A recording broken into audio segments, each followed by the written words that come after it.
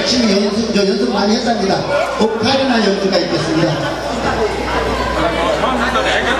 오카리나 연주에는 김혜선이, 전희기님하고 우리 개미님하고 재민이서 갔다. 예. 안녕하세요. 네, 반갑습니다. 반갑습니다. 오늘 이 무술대회를 처음 와봤는데요. 이렇게 즐겁게 어, 이렇게 함께 모여서 했던 모습 보니까 上桥盖了车这个